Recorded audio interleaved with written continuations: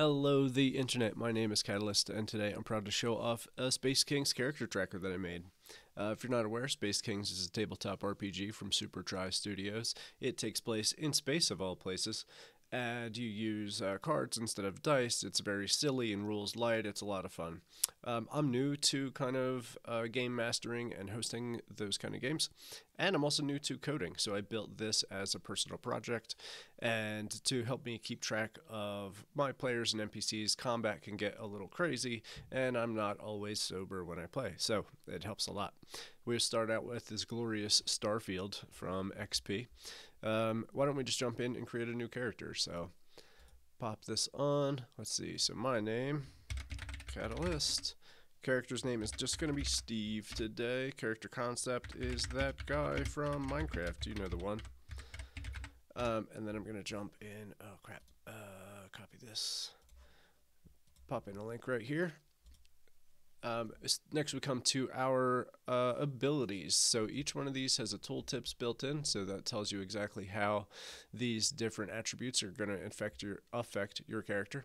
Um, I think Steve's pretty brawny from stringing, swinging that pickaxe around. Um, probably witty and definitely charming. He's a handsome guy. Um, these go up and down. Ah. And uh, you can also go back uh, or cancel or do whatever. Um, next is your masteries. These are skills that you're really good at in the game. I think Steve would be great at melee and probably survival. And again, these all have tooltips in case you're like, what the heck is even space wise?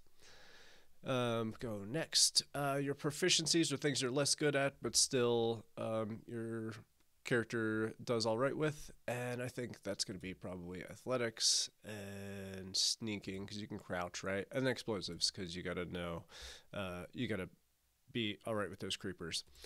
And then it just generates right away. I'm pretty proud of this. And then you can also step your health up and down. It gives you your condition as you uh, get hurt.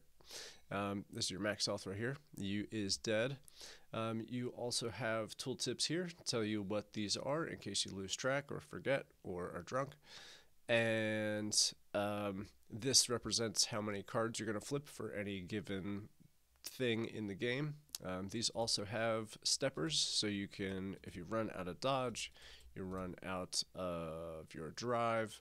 This your uh, hero points. You get those from your fellow players.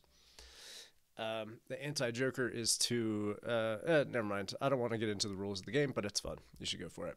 Um, and then again, these are the things that you are good at. You can even leave some notes for yourself. Don't die.